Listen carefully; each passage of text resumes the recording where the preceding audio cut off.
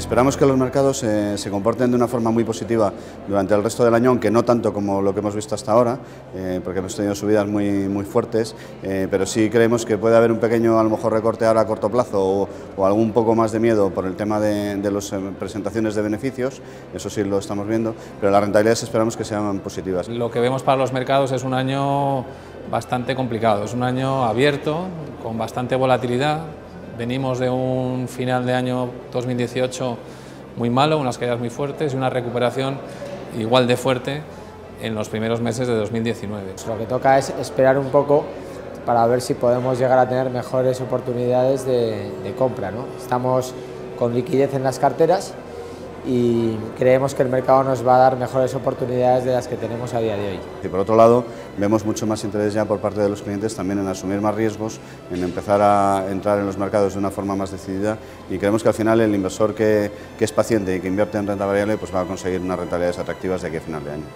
El escenario esto de tipos de interés bajos se va a mantener durante un tiempo más y favorece pues, que los ahorradores, los inversores busquen alternativas de inversión más atractivas que el depósito o que el puro fondo monetario o que la liquidez a sus ahorros.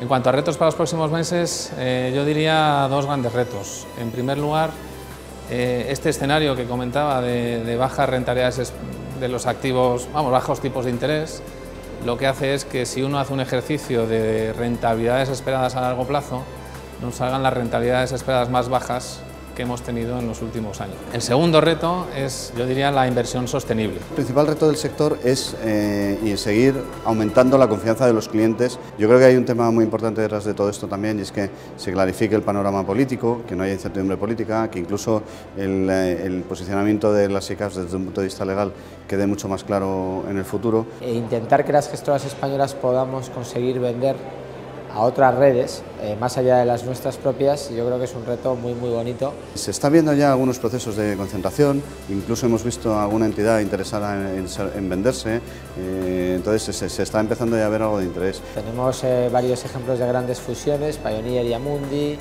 Aberdeen y Standard, Janus y Henderson, gestoras enormes con grandes volúmenes gestionados y yo no veo por qué España va a estar fuera de esa dinámica. Es lógico que las entidades eh, pequeñas eh, pues tiendan a tratar de agruparse entre ellas o ser compradas por alguna grande, ya que en las áreas de eh, coste de análisis, control de riesgos y administración, pues sí que hay sinergias importantes. Al contrario, probablemente en España eso sea aún más necesario con volúmenes medios por gestoras pues bastante reducidos. Yo diría que sí, que seguramente vamos a tener una concentración.